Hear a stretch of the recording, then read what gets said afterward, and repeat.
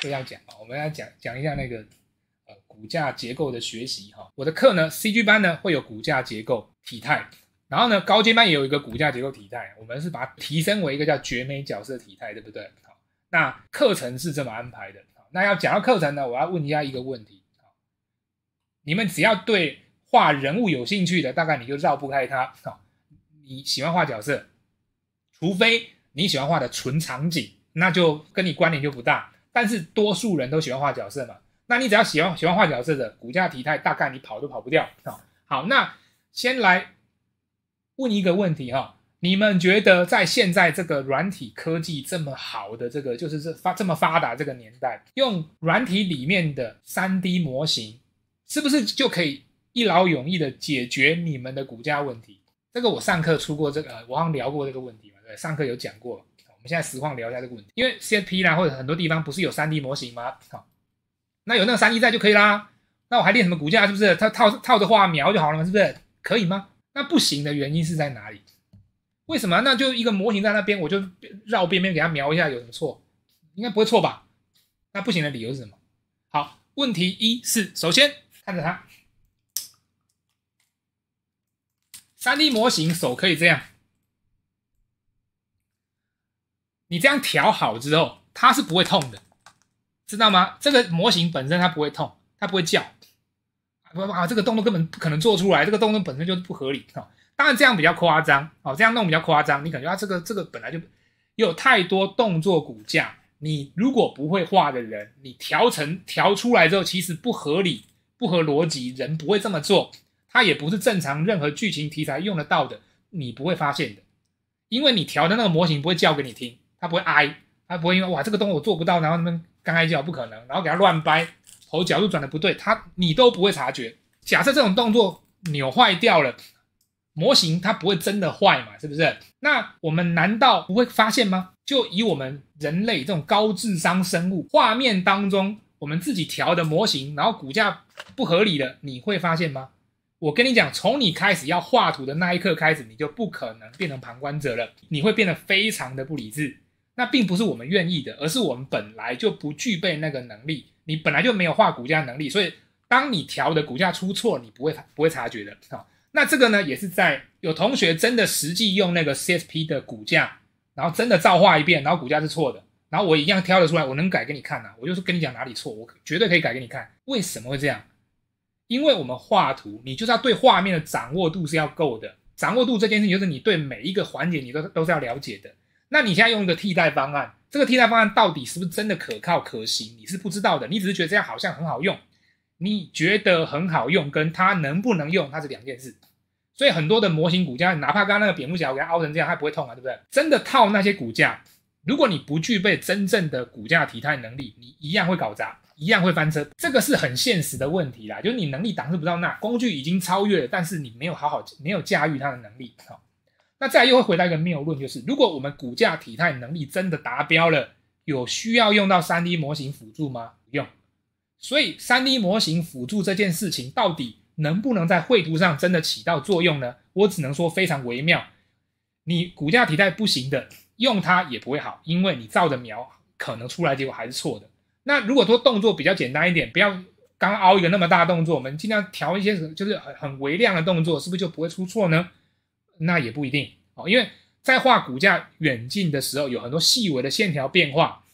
你在描照套着骨架描，你不一定会察觉，你没描好你就错了。好，我简单举一个很小的例子给你们听啊。来，这边有一个剪影，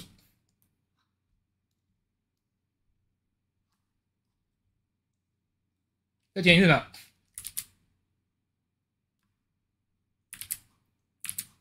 来，这是一条腿。看得出来吗？粗了一点，肥了一点，但它是一条腿啊。好，如果这条腿画画好看一点哦，这条腿如果是在三 D 模型里面，有可能你真的把一个一个骨架，你就给它凹成这样。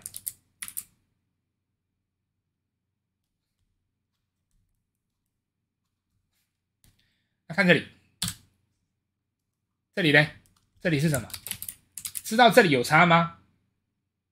这样是一种骨架，这样是另一种股价，对吗？它是不是两条线就各自不一样的？你知道股价不行的人在这里是没有办法察觉这个问题的，而且在三 D 它有可能模型会叠在一起，你没有办法真的察觉。我现在需要这个到底是是小腿往上压还是大腿往下压，你可能完全察觉不了。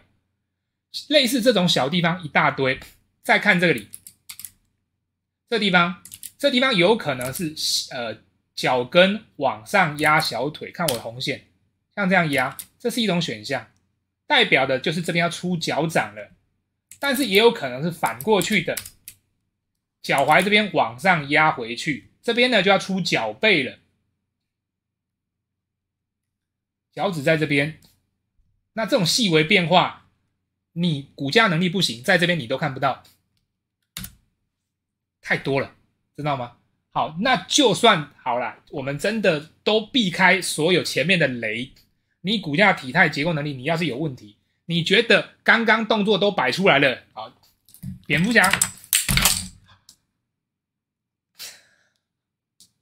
剩下腿，没事哦，球形关节你要装回去就好啊。我说掰不坏，真的坏。然后就接回去就好，没有摔啊，就一抓就断。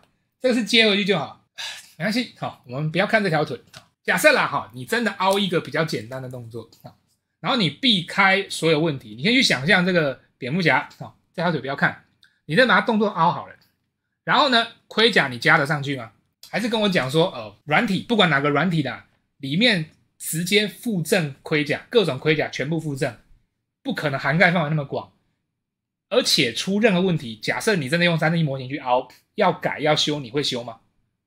不具备画技，你就做不到。所以核心画技还是要去养成。那你调出来的素题，如果你的你不具备真正的空间远近，一片盔甲你都加不上去，这个你们想挑战，尽管试试看。我认为啊，就是大家还是要面对现实啊。画技这件事情，软体再怎么辅助你，你的真功夫还是要到达标，还是要到一个分量。它可以让我们很多很麻烦的小细节可能可以跳过，但是很核心的能力永远绕不开。你只要你是要用人去画，你都绕不开。再来哈，下一有给给跟大家再分享，我在上课也蛮常提到这件事情的。这次接下我再提一下哈，如果你看到网络上有人练这类的东西。这个不是在练骨架，知道吗？如果当事人说他在练骨架，那你就要看分辨一下他是专业会师还是那种会友，还是有差的，对不对？专业会师就是在怎么样，你有工作嘛，有商业案件嘛，是不是？好，你他会知道自己在干嘛，这个就比较像是火力展示，当然他会画的比较比我再清楚一点的哈。那如果说你们是看人家一样画葫芦练的哈，然后看这个，然后说自己在练骨架的，错，这样没有在练骨架，这样不是骨架。一定要认清楚哈，这个在干嘛？这个在练构图设计，这个在练，这个基本上是跳过了结构，知道吗？我们看一个例子啊，这边，那为什么说这种东西它可能不是在练骨架嘞？应该说它绝对不是在练骨架。像我画这个只是做计划、做动作设计，那这个练不到骨架哦。不要以为这样画能够练骨架，这个完全不行。为什么？好，呃，如果你看人家这样画面这样练一大堆。那随便挑一个，我先问一下这个动作，你觉得你看到的是什么？你们觉得是什么？有可能往下画下去，这个呢有点微微的低头，对不对？好，然后正式画的时候呢，有可能低头太难的画不出来，就忽然间变成平的了。人都会不小心画回舒适圈，知道吗？这个太难，这个角度不会画的画的改着改着，擦掉再修一下怎么样的，来回个几遍你就回舒适圈了。好然后就变成要低头，哎不，没有低头了。再来呢，这个动作本身有没有看到我这边红线圈这边有两个乳房，所以呢，它的角度是肩膀是有一个远近的，头是完全挡肩的。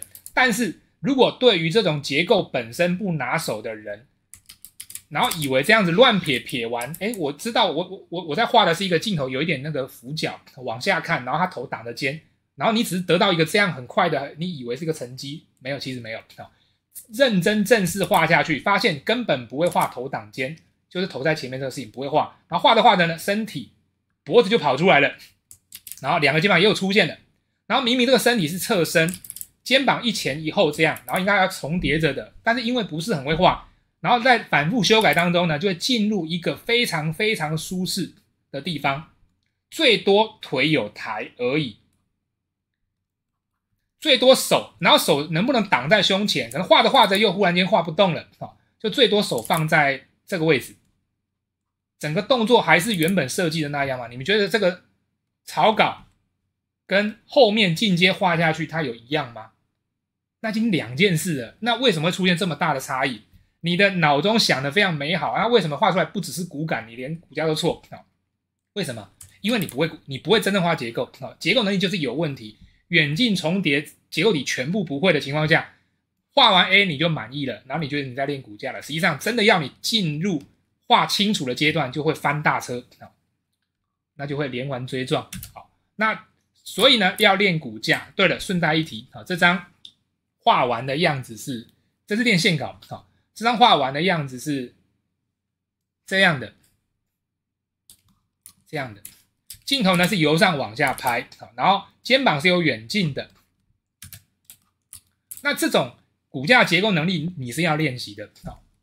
所以看到人家画一大堆这种速写的体态，不要以为真的这个在练骨架，这个没有练骨架，这个只是在练设计跟创意，画面的设计跟创意的。这一点请记得。然后这个要怎么开始？这个呢，我要给大家推荐到一个我以前讲座有的资料来，呃，可能有人有有看过一一两次吧。这个是你们认为在练骨架结构，对不对？好，那这种结构体很常见，哇，这个就是有内有外，什么角度关节全部有，就像一个球形关节这样。好，那一开始该练这个吗？一开始就要练这个吗？这个就对，没有错，这样能够练骨架，没错，这样才能够真正确实的练骨架。因为每一个每一块关节远近切线全部画出来，你才能够一次一次的反复去体现骨架的远近感。肢体怎么重叠，空间怎么摆，你才会知道，这才是真的在练功啊。所以这是两件事哦。这个在练的只是构，最多构图跟想法而已啊。你真正要能够。练骨架就是要老老实实的画结构体，像这样结构体，每个关节不厌其烦的反复一再的练，一再的切，一直切，一直切，切到你的空间真的跑出来啊，切到你的大脑的三 D 显卡变得很强。那你要配上什么样的盔甲结构什么的，你才能够画得比较好。所以很多人那个立体结构画不好，其实回头你是结构画不好啊。那一开始我们要画骨架就要画这种吗？当然不是啊。一开始你看网络上要是有绘师，如果说看我了，哪一天我展示这个，那也是火力展示而已。一开始要更不厌其烦的要画这个东西，这个东西知道吗？哇，这个这么这么丑怪，这种我我们能不能画那种就是精美漂亮的？一定要一定要练这么这么奇怪的吗？练那种火柴盒吗？练那种方块吗？一定要。要画个几次？理由很简单，就是它会逼迫你理解身体的远近厚度。它当然没有这种已经有一点肌肉象征的这种结构体看起来来的漂亮。我当然知道啊，我怎么会不知道嘞？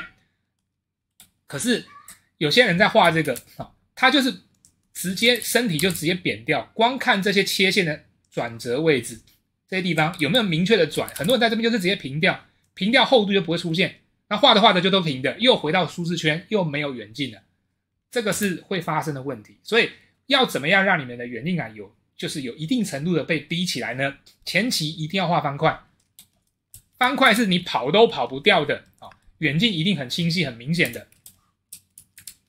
那这个要画个几次，然后反复提醒自己远近、远近、远近，在这种政策的转折处有没有转，有没有转，要反复一直自我强调啊。那真的受不了了，可以来画一些这种结构体，进阶的结构体可以的啊。但是前面你要说完全跳过这种方块理解，我觉得是不妥当的啊。这种就是网网络上的学习啊，哈，有分成那种就那个任劳任怨、刻苦型的啊，会愿意试试看，愿意让自己的理解再多宽一点的。那也有一种类型是好高骛远型，就是这种太简单了。我小时候怎么样，身边也只有我一个画得好，我要一路画到大，我只是欠缺了专业技巧，这个太简单了，我不练，我要跳过来练这个。那就看着怎么翻吧，好，所以有很多人骨架真的体态画不好，原因在哪边？因为你没有真的理解远近。好，所以我会推荐一定要从这个做起，然后扎扎实实的把底子打好，然后呢就可以进入到这个阶段，然后呢就可以进入到看你想画线稿、画彩稿的阶段，了解吗？好，这是一个很重要的观念。好，那我的学习路线是这样，先看两个上课一定有人看过的教材啊，这教材呢，当然你会看到我有这个。呃，有有这个，这个是上课才会说明的啦。啊，有看到这个动作本身吗？就这个这个对照，这是一个站姿，那这也是一个站姿，啊，有差吧？如果是在 CG 班的范围，是这个稳稳的画出来，加上造型，然后呢，能够变成一个商业专业绘师，这样就可以啊。然后呢，如果你要进阶的提升，假设我们呃那个。造型部分我想要先搁着，我就想画 R 十八，然后我想要让体态这个这个技能点点到底，那我们就要进入到这个阶段。好，这个看似很简单，你待会看个例子就知道。好，然后这边还有另外的例子，来，这是一个什么剧情题的，我忘记了。端着蛋糕跪着前进的女仆，好像好像是这个吧？在 CG 班你要会这个，应该够用了吧？好，然后呢，如果你在前进，好，到了那个精品主题班高阶班的话呢，你要会这个。认真的好，再来要会这个，那这样有没有差？有差吧？好，你不能不会这些，你就要跳这个，那是做不到的。不信试看看股价会挑出多少问题啊？所以要一步一步来，这样就懂了嘛？是不是？好，然后这边呢有一个上课那时候给大家的，好像上上梯次吧？好，练习的。好，这个这个例子非常简单，非常好懂。好。懂那个不行，你们都看到答案了是不是？好，来，当时是这样，上课我是这么教的。来，这个图很久了啊，画的应该是呃，Tony 大神 R 十八的那个日系的那个画很多 R 十八游戏的大神啊，已经看到答案了好。当然，我实际上要让让你们知道一下，很多人画完是长这样，就是尽全力画完的角色动作就是这样而已。那这样够不够？以画面的特征描述，就它就是一个站姿，对吗？好好，C 班我也只会要求你到这边，重点当然是正确骨架体态后，盔甲造型什么的都要出来。那这样你的那个商业商业会师的标准你就能达到啊。那体态上你能够增强多少，那就看你自己时间有多少。那如果说要知道那个主题班的差异，那我就是要给你这个。所谓的一个精灵拿着弓箭的站姿，就会被我要求到这个程度。当然，我要求在后面追打，你们要练。你不练的话，你可能还在这里，对不对？当然，我们先撇开这个，这个本来还有它的专业度在了。你要做到这样子，要提升上来，要到这样子，这样子才带劲，对吧？啊，这个就是有关体态的进阶。那请问一下，你们的体态在哪个档次呢？是在这里画完就已经累累的不行了，这样。还是已经到这里了，能思考一下啊？那类似这样的例子还有吗？有啊，好，来，这是一个拿刀的男人，对不对？那你们有多少人骨架还在这？是不是？好，那如果还在这没关系，好，那接下去你要有办法让他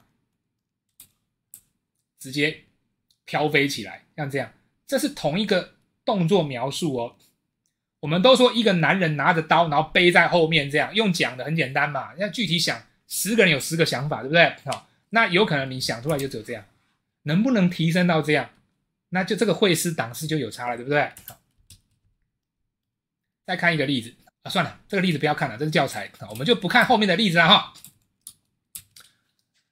这主要呢是基于很多同学问到我一个问题，那 C 班跟那个金元班的差异在哪边？如果就骨架体态来说，是有这个差别的。能了解吧？好，好，那如果以那个今天你想做一个非常简单的吸收分享的话，哦，分辨清楚一件事，第一件事情，第一个重点，这个没有在练骨架，不要误以为这样在练骨架，好，也千万不要有人这样画画画，你就觉得骨架很厉害，你只要任何一个挑出来正式画一下，画清楚一点，立刻就回到舒适圈，那代表你骨架结构能力是不够的，啊，那所以呢，要老老实实回到这边，啊。那这边的话，你可以做很多呃参考照片命题，或者人家互相出题目，互相互相那个彼此监督啊，互相给作业的方式去得到命题。然后呢，透过空间结构这些很像形状组合的方式，把空间感画出来。所以有些时候你们的那个造型的远近画不出来，很有可能根源还是在结构体画不出来。那这个也不要一开始你就这样画，这个呢是比较比较视觉上比较唬人哦。实际上一开始就是要老实练这个啊，练这种东西。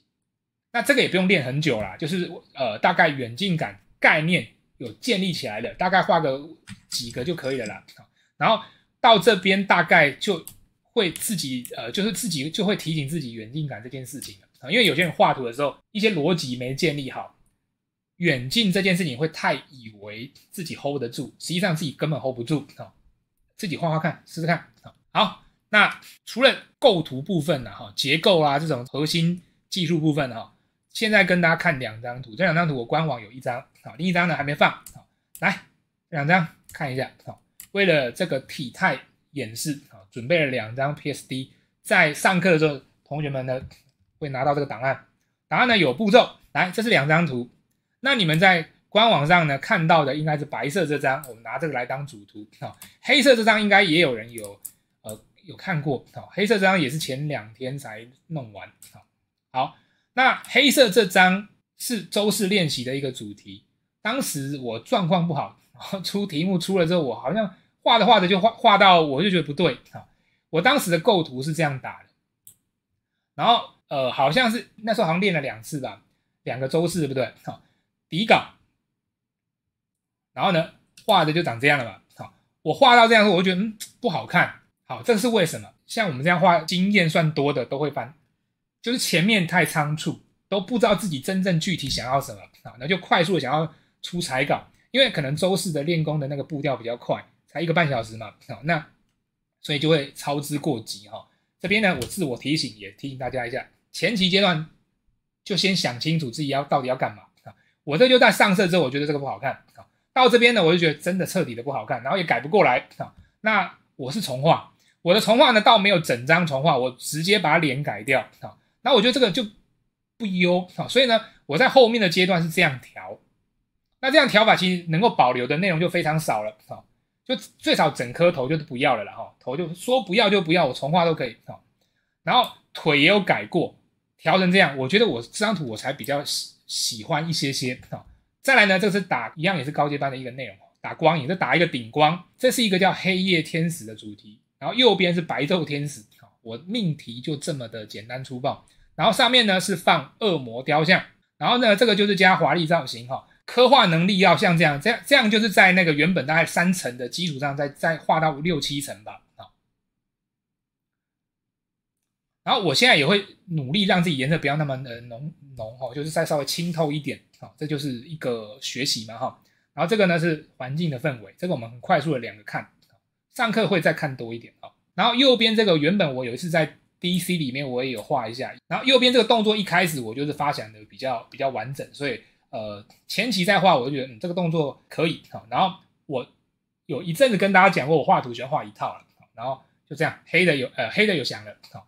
然后那时候没画好，那我就先跳画白的。这是打光影，跟左边那张的步骤有点不太一样哦，因为因为左边那张步骤有过经过一个大改，所以是光影后我才大改的。那右边这张比较稳定，所以呃那个动作确定，然后呢造型大方向也确定，我才开始打光影啊。所以在这种百分之六十的完成度上打光影，我觉得是最理想的。然后接下来就是呃刻画，然后。胸啊，跟那个头，我就这样来来回调调的有一点久啊。然后背景的话呢，也试了一下子啊。背景原本觉得应该很轻松的哈，我本来想说我就不不画那种透视线，我就是凭直觉硬刚翻车了啊。所以呢，还是乖乖的拉了透视线。然后拉完了再好好的画好。然后整个建筑结构角度也都有换啊，就是切呃不要太操之过急啊。你该练的就是要练，然后不要想着。要一步登天的啊！我我觉得我们画到现在也都是这个这个这个结论，对不对？好，好，然后呢，这个呢就是细化。那我有努力的在把我们课程的精神展示出来啊，上面的肉该要有的肉肉感，频道快快不行了，赶快过去。该要有的肉感 Q 弹啊，我们要学习，然后再来。完成它啊，然后我就画了一套图啊，这个用来展示我们的那个呃精美班的主题哈，有一个大主题就是那个进阶版的角色体态啊，所以如果同学们你们呃你们的目标，你们想要当个专业会计师，你可以选择 CG 班。然后如果你想要在你有一一有一点实力的，然后你想要在股价、体态还有那个体态上色上呢，你再精进下去，那你可以选择我的那个精品主题班。这一次的主题呢，那个体态我们是有有有很多内容强化。你们要是不止上我一次课啊，你们上过几次课，你们知道吗？我每次内容我都会去优化，对不对？好，那这优化就是都是我我学了新的东西，我就把它加到课程里面。所以我并不会一个东西就是十年前、十年后一个样，是不是？好，CG 班是基础班吗？不是这么说，CG 班是有基础班的内容，大概前四分之一哈。呃，如果你们就觉得听得很轻松，那只有一二三堂课，你们顶多。我觉得到第二堂课就开始吃力了，呃，然后大概中段开始就是专业会师的内容了，然后到后面我们场景跟海报嘛，对不对？所以它算是一个从无到有的课程，没有错。那压力会变大是从，就是你上上起来你会觉得轻松，那是第一堂课，第一堂课很轻松啊，就哄着你们前进，来来那个来跟着我一起哈，踩出你的第一步，这样。第二堂课开始结构体之后呢，就开始硬了。然后第三堂课，哎，那个开始到到头像，对不对？啊，头像部分的第头像是第三堂课，也是比较轻松的。啊，到第四堂，我目前我经过这样子九年，哈，C 班的状况都是这样啊。第四堂课同学哀叫，啊，然后其其实你们反应我都会注意的，哦，我会我也会想说你们是真的在哀。那有那种在在那种就是跟着你们一起哀的，那画画的很好的那个就是在假哀这样的。大概第四堂课资讯量就开始。就是开始爆棚啊！但是我会注你们状况了，所以你们看我上课画的完成度，我会把它画完整但是华丽度就不一定要看你们的呃当时的需要回答的问题各方面的啊。反正我尽量会在课程内把你们该具备知识教好。哎，听过哈，就是修行啊，所以我们有练功堂文化嘛哈。所以你们因你们有经验吗？C 班，然后有人跟着挨第四堂、第四堂、第五堂头像，然后上色，然后讲很多内容，然后内容开始超载啊。有人是真的挨啊？怎么哇？这个脑子要烧坏了还是怎么样的？那有人也跟着你挨，你不要信了哦，你不要相信他们真的跟着挨哦。那跟那个小时候考试前啊都没有书都没有读，完蛋了，我这次因为考很差，啊回家被扒皮被打了之类的，哇，他考出来最好，这种是欠揍啊。那每次都有这样的人啊。然后现在就是学习阶段了哈。如果我们遇到同学挨，我会怎么样？其实我会很谨慎。然后我尽量让你们在受得了的前提下，大家一起前进。